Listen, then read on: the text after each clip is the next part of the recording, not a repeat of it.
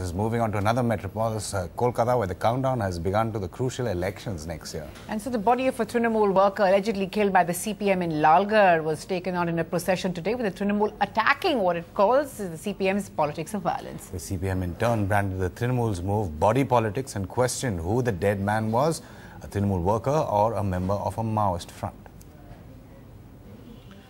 Mamata Banerjee paying respects to Sanatan Hembrom killed, the Trinamool claims, by CPM supporters in his village in Lalgarh.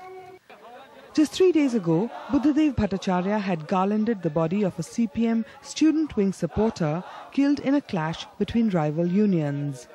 Tit for tat politics with dead bodies? The Trinamool says no.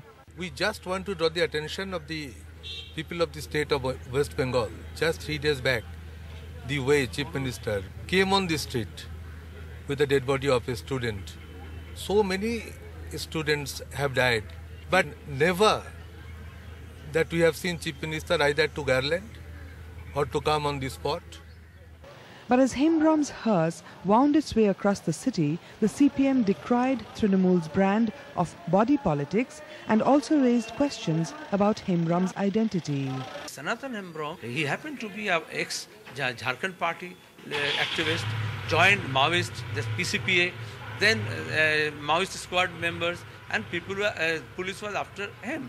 And Trinamool claims that it is their supporters or uh, loyal soldiers.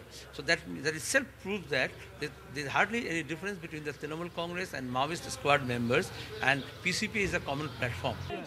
With assembly polls in Bengal just months away, there is growing apprehension that this brand of gruesome politics could become the norm.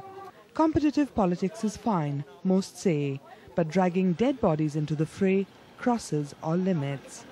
In Kolkata, Monideepa Banerjee, NDTV.